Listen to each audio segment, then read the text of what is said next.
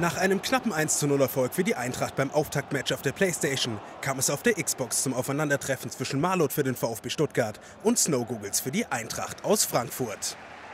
Beide Teams trennten vor dem Spieltag nur wenige Punkte und dementsprechend eng ging es zu. Ein Platz unter den Top 6 für beide Teams auch am vorletzten Spieltag noch möglich.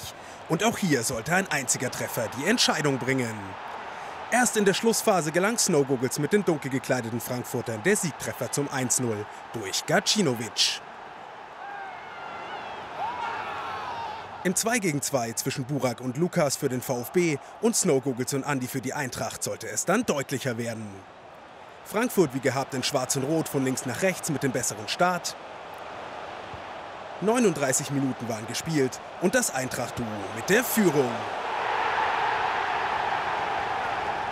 Der Niederländer Bas Dost, der Torschütze. Und die Adler legten in der Folge nach. 57 Minuten war die Partie alt und dann dieser Treffer von Paciencia zur verdienten 2-0-Führung für die Hessen. Super Abschluss des Frankfurter Offensivmanns. Stuttgart kam einfach nicht richtig ins Rollen, die Frankfurter drückend überlegen. Dost bedient Paciencia und der schiebt nach 69 Minuten ohne Probleme zur 3-0-Führung ein. Drei Tore Vorsprung nach 70 Minuten.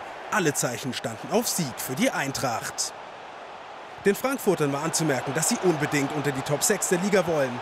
Snowgoogles und Andy ließen nicht nach. Das 4 0 durch Silver, die logische Konsequenz.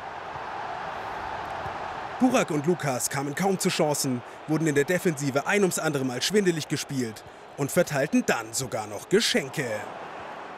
Der VfB bekommt den Ball nicht weg, Frankfurt sagt Danke und Silber besorgt den 5 zu 0 Endstand.